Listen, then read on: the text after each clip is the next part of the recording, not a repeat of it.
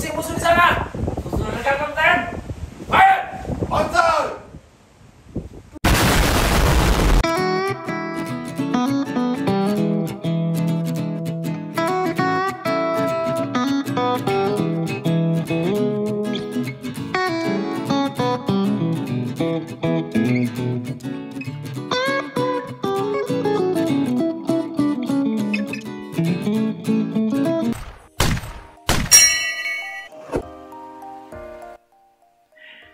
Gak cuma tentang keindahan alam, pantai, ataupun bawah lautnya, Sabang memiliki beragam destinasi wisata yang kaya akan nilai sejarah. Benteng Jepang atau Benteng Ano Hitam ini contohnya. Kali ini kita akan jalan-jalan ke Benteng Jepang yang ada di Pantai Anoy Hitam, Sabang. Lokasinya nggak jauh kok, cuman sekitar 8 km dari kota Sabang. Ya 15 menitan lah dari kota Sabang. Jadi lokasinya itu ada di Desa Ujung Karung, Sukajaya. Masuknya itu gratis. Nah, nggak tahu ya apakah karena memang kami datangnya low season makanya nggak ada pengutipan atau memang gratis masuknya. Nah ini pintu masuknya, masuknya agak ke bawah dan ada beberapa tempat parkir dan pondok-pondok di sebelah kanannya ini.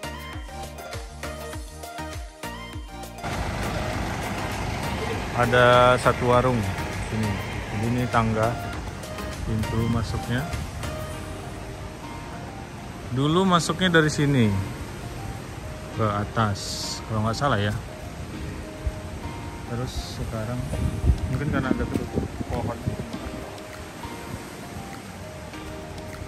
Benteng Anoy Hitam. Di Sabang ini banyak sekali gua Jepang. Konon benteng-benteng yang tersebar di Sabang ini terhubung satu sama lain melalui terowongan yang banyak ditemui di kota Sabang. Tapi katanya terowongan ini udah banyak tertutup. Nggak tahu tertutup eh, tanah atau gimana. Benteng peninggalan dadu Jepang ini dibangun antara tahun 1942 sampai 1945. Jadi benteng ini dibuat pada pendudukan masa pendudukan Jepang tahun 1947 ya kalau nggak salah. Nah ini ini dulu tempat nyimpan amunisi, permisi. Nah ini ini tempat nyimpan amunisi ya.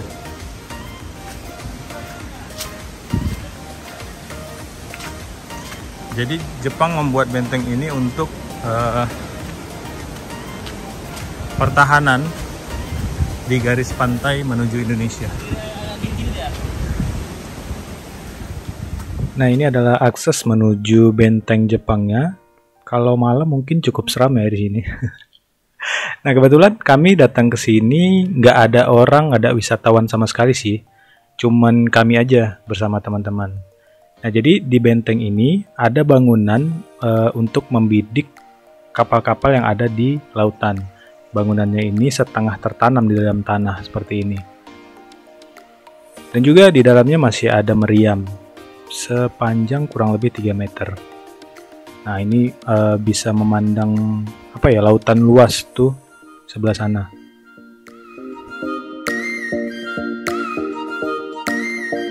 Nah, di sisi yang kita lihat ini adalah Selat Malaka. Jadi kapal-kapal yang berasal dari Eropa itu datangnya dari sana tuh. Nah, dari sana itu bakal memasuki perairan Indonesia ke arah selatan.